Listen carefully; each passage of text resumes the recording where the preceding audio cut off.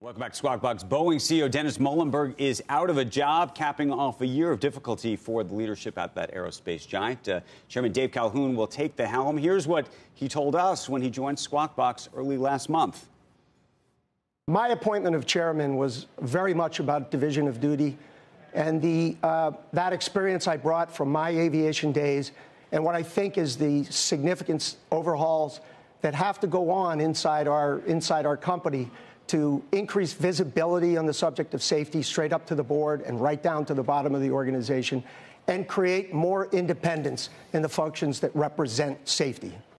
Okay, we're now joined by Jeffrey Sonnenfeld, Senior Associate Dean for Leadership Studies at the Yale School of Management. Carlos Watson's also here, OZY co founder and CEO, and uh, CNBC contributor Michelle Caruso-Cabrera is at the table. Tom Farley is here. Everybody's here. Good morning. Uh, Jeff, though, you have been, I, I think that you you were a backer for a long time of Dennis Muilenburg, no? Uh, no, what I wasn't was uh, not a finger pointer that there's a demon. I don't believe that there has um, necessarily been any any uh, uh deception, right. any fraud here, and that's what I thought. There was a, a rush to always find a bad guy. Sometimes there are really unfortunate circumstances that happen, and it was uh, either by uh, by bad calls or by bad technology but not because of bad actors. Okay, and so I don't look, think there's a bad look, actor. Okay, here. so look forward though for just a second here on on Calhoun. Is he the right guy? And the reason I ask the question is there's clearly, uh, you know, he's got some, he's got the experience. He's he's he's in there sort of, but sort of not, which is a good cuts both ways.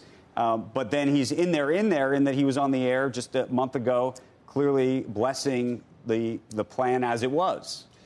I think he too was taking the same position. There aren't any demons here, and was supportive of Dennis Muilenburg.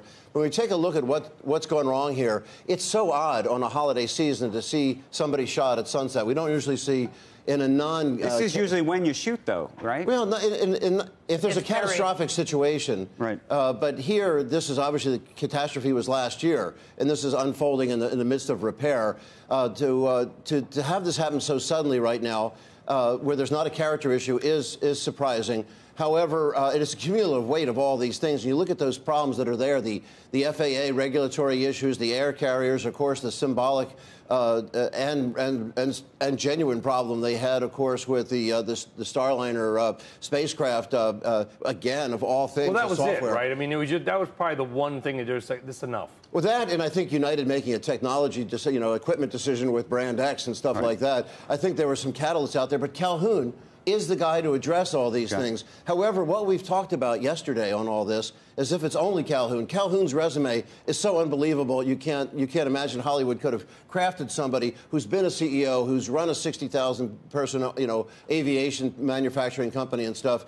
However, uh, the CFO uh, is fantastic. This guy, Greg Smith, he's a decade younger. He's all dressed up, ready to go, and he's the culture carrier on the inside, whereas Calhoun can speak to regular. how, how long do you think it takes Calhoun to actually turn things around? Because right now, feels like there's a lot of stasis, a lot of stagnation.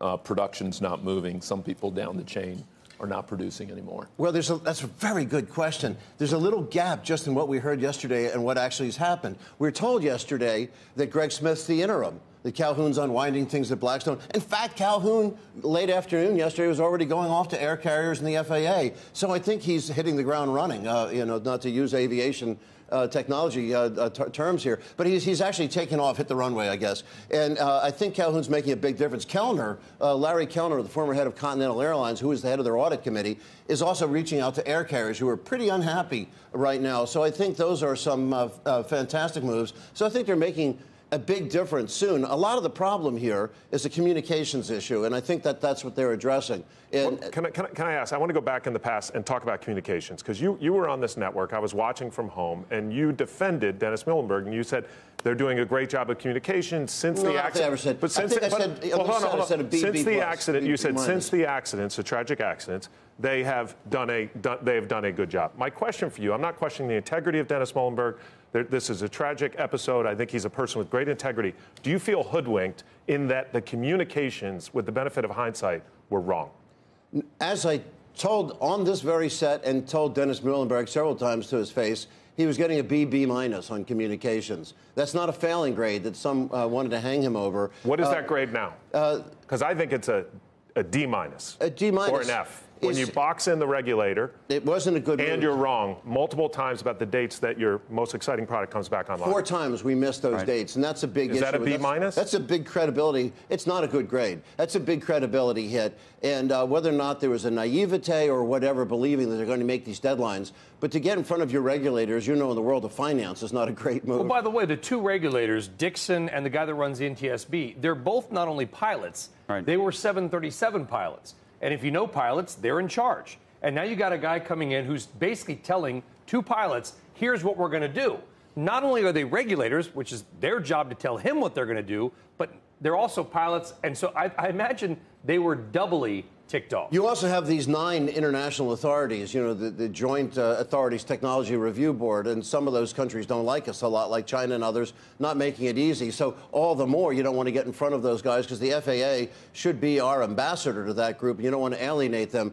We had a whistleblower that I believe was probably, uh, I don't know if a faux whistleblower, but certainly a misleading one. This guy, uh, Forkner, I think was his name, a, a test pilot that uh, created some noise, and that surprised the FAA too, because the Justice Department knew all about it, and the Justice Department was examining the FAA, so Boeing couldn't tell the FAA because they're all they're both uh, being investigated at the same time, and that that sort of further alienated this guy Steve Dickson, the the But FAA. job, job one for this guy now is to once to reset expectations, communicate in a more effective way, and, um, and I don't want to say timid, but a, a, with a much better tactile sense than what we saw with Muilenburg before, right? I mean, he's been on the phone, from what we understand, for 48 hours. now. Was continually chasing the headlines, to your point, too. Whereas uh, Calhoun is out in front of them. He knows how to frame the issues very well. I think he's charismatic uh, He that is. way. I, I, you know, I, I know him a little bit personally. I mean, he's on the board of Virginia Tech, where, so I kind of know him through.